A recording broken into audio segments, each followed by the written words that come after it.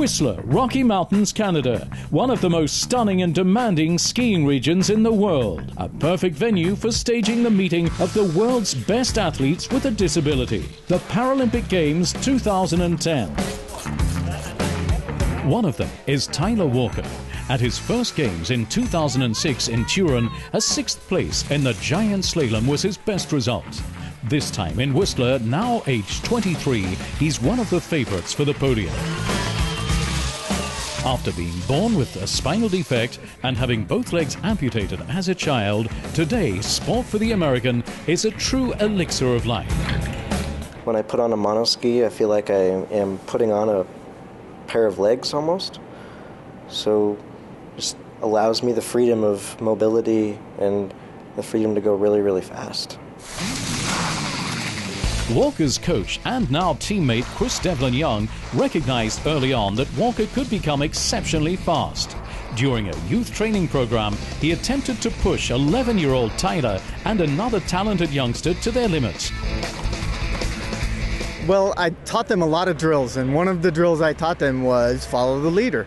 And what I didn't tell them until years later was that I was trying to lose them. and I never could. They stayed right with me the whole time. They were really fast always. And his protege got faster and faster, learning also how to stay in control at speed. For in top level sport, correctly judging your own capabilities is essential. You never want to be fearless because um, you can take unnecessary risks that way. I'm already at that level where I can control tons and tons of energy that looks like I'm out of control. But really, I've taken a lot of calculations into account. It's undoubtedly his talent that makes Tyler Walker so successful, but also his irrepressible will, with which he has always mastered life challenges as if it were second nature. He's always just adapted to anything that he wanted to do. He figured out a way and tried to keep up best he could. And he played baseball with all the other kids and sled hockey and skiing. It was just a natural for him. Jim took a uh, children's sled and put my daughter's uh, cross country skis on the bottom by drilling them in. And we would take him and just shoot him down the hill and we kept making different sleds that he could use and uh, an adaptive program saw him one day and said why don't you come to loon mountain and we'll show you how to use some equipment that's designed for this. So we started to take him to other programs and um, everything we tried he just outgrew it immediately in his parents and coach Chris, Tyler had strong partners at his side, giving him great confidence. The young athlete thus soon joined his mentor in the USA's adaptive ski team and began to push him off the podium. Oh no, that's never happened. Wait, lies. yeah, that yeah, he has. He has. We know that when one of us is fast and the other one's close, then both of us are fast. A genuine partnership that's far more important to Tyler than just how he's doing himself.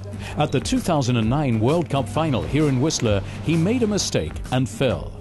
Nevertheless, he supported and motivated his partner in his preparation and went onto the piste with him within minutes of his own failed run. His mistake couldn't be undone. Always look forward is Walker's motto. Um, I try not to dwell on um, my mistakes too much, because I know I can ski really well. So I'll just train a bit more and go back the next day.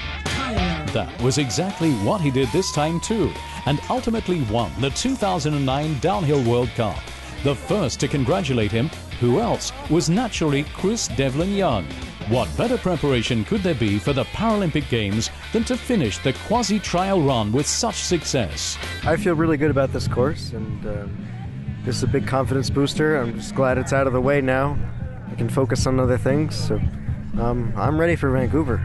So. The dress rehearsal went well. Now, prospects for the Paralympic Games look golden.